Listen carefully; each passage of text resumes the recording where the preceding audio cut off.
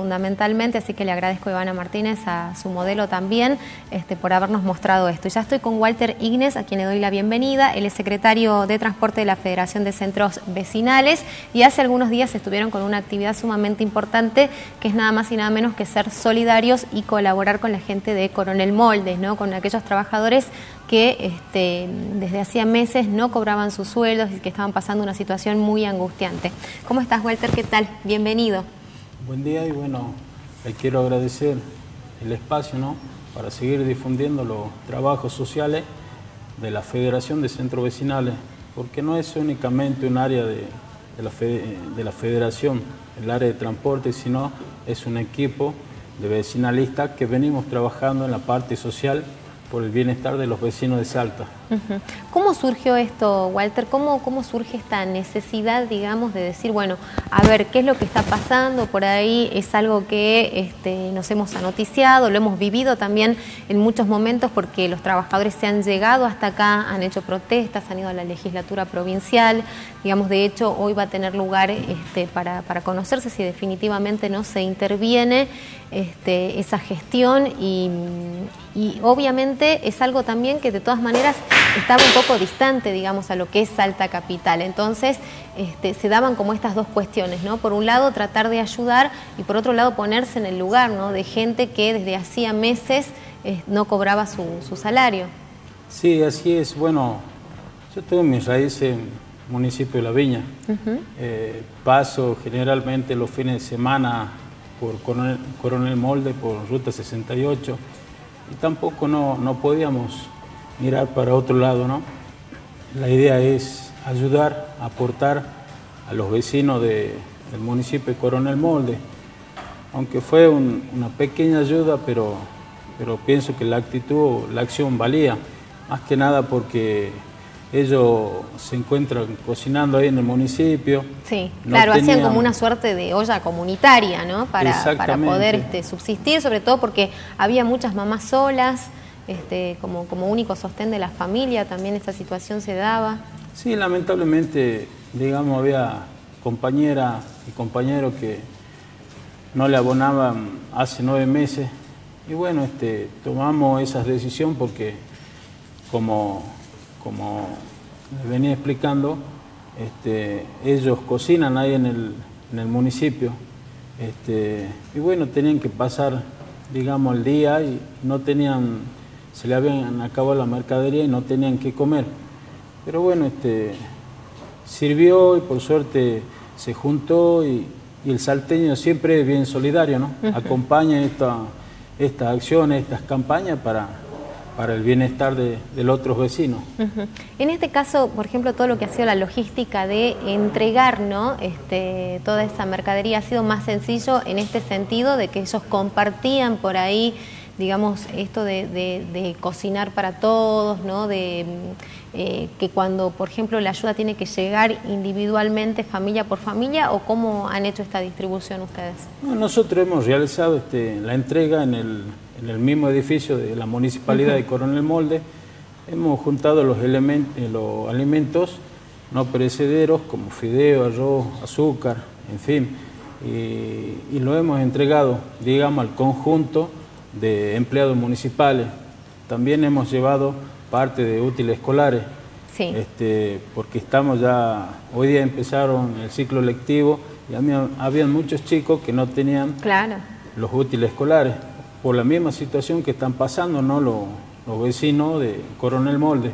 Pero bueno, por suerte se le dio al conjunto y había, digamos, este, el delegado de ATE, Miguel Gómez, y él era el encargado de distribuir a, lo, a la familia ¿no? de, moldes. Bueno, entonces este, finalmente esto llegó. ¿Y cómo este, fue también esta, esta recolección, ¿no? por ahí, esta, eh, digamos, esta ayuda que, brindó, me imagino, cada hogar, cada particular?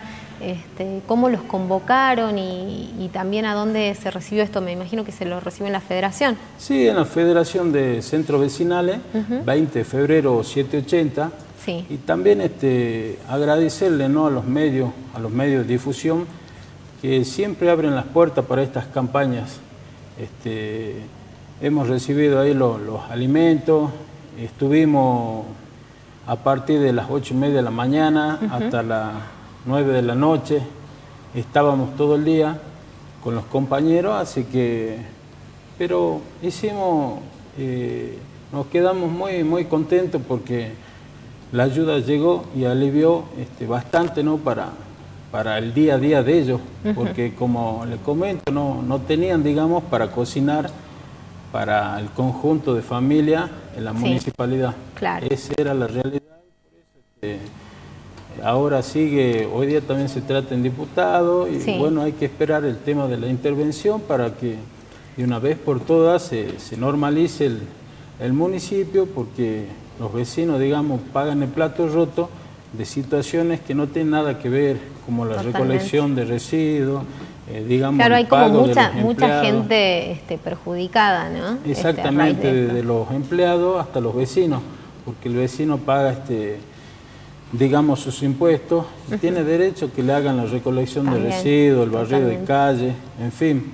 Pero bueno, este, seguimos trabajando para, para que todo esto llegue a un buen fin, También estuvimos en la Cámara de Senadores acompañando y hablando con los senadores para que esto sea una realidad y llegue definitivamente la, digamos, la, solución con una intervención que seguramente del gobierno de la provincia este, será muy, muy aceptada por la gente, porque al llegar un interventor se va a empezar a normalizar el tema de sueldo, el tema de servicio, así que es muy positivo todo esto.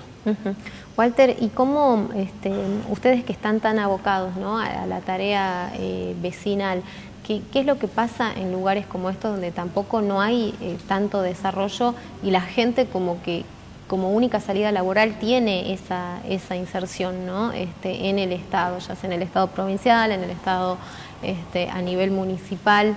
Eh, ¿Cómo han observado ustedes esto? Porque me imagino que también muchas de las consultas que les llegarán tienen que ver con la falta de, trabajo, incluso acá en Capital, donde por ahí uno sabe que hay más posibilidades, donde hay un abanico más amplio, donde por ahí también está el desarrollo de, pequeñas industrias este, y donde hay otro, otro tipo de, posibilidad.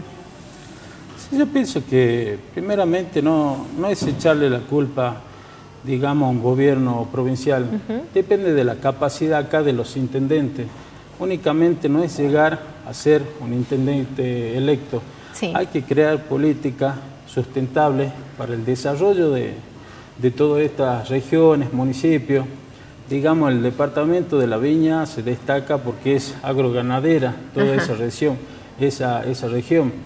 Y, y bueno, no únicamente, digamos, la gente tiene que este, vivir de una municipalidad. Digamos, este, el intendente tiene que tener la, la capacidad necesaria para sacar adelante este municipio, atrayendo inversores. este, Coronel Molde es una muy buena región y, se lo puede explotar de muchas formas. Está el dique Cabra Corral, este, de ahí sale la energía, es un lugar de paso, náutica. Exactamente, es un lugar de paso y y bueno, pero también depende mucho de, del intendente, ¿no? de la capacidad de los intendentes para sobrellevar eh, estos tipos de, situaciones más que nada. Seguro que sí. Bueno, así que este, una acción solidaria que han hecho desde la Federación de Centros Vecinales, que ha tenido este, muy buen final y que esperemos que la, situación de los trabajadores este, de Coronel Moldes finalmente se, se solucione, ¿no? También como usted decía.